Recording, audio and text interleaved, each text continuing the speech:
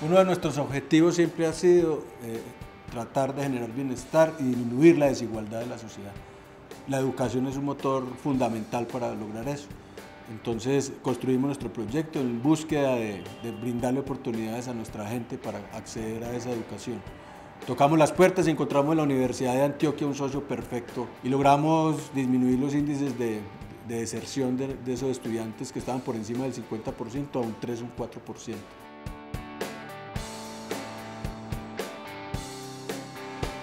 ...40 instituciones del sector solidario han hecho aportes a la universidad cercanos a los 2.350 millones que han beneficiado a más de 4.500 estudiantes.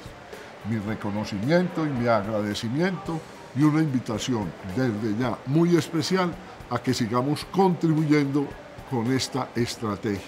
Todas estas acciones van dirigidas a retener los estudiantes, a que no deserten, mientras la deserción en la universidad de los estudiantes vinculados a los distintos programas ya mencionados es apenas del 7.6%, ustedes saben, la media nacional, tanto en instituciones públicas como privadas, es cercana al 53%.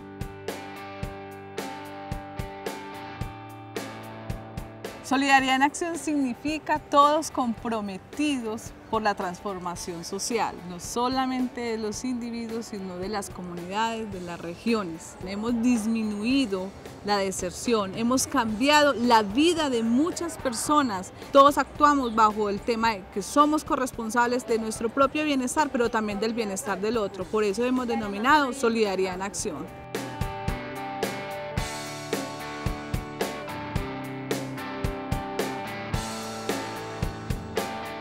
Actualmente trabajo en EPM ejerciendo mi profesión, soy ingeniera electricista eh, y quería dar las gracias eh, al sector solidario por los aportes que hacen al programa de alimentación que administra el bienestar universitario, que es un gran apoyo cuando uno está estudiando. Agradezco al programa Solidaridad en Acción por el complemento alimenticio recibido durante tres años. Gracias a ello siempre estuve con el ánimo arriba para terminar mi carrera. Me gradué de Ingeniería Eléctrica en la Universidad de Antioquia en el año 2009 Actualmente trabajo en empresas públicas de Medellín y quiero agradecer el apoyo brindado por el sector solidario en cuanto al complemento alimenticio que nos daban durante muchos años.